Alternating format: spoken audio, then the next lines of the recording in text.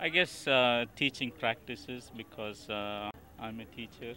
if you were to focus on teaching practices, how would you do that? I guess how how to help, um, how to improve myself as a teacher.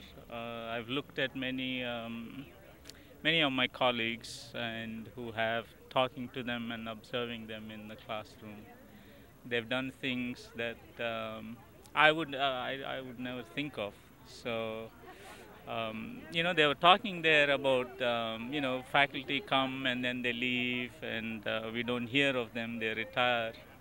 Um, it would be nice to share that uh, rich experience that they have with each other. Uh, so, uh, you know, there are always things that you can um, improve and through your teaching connect with students.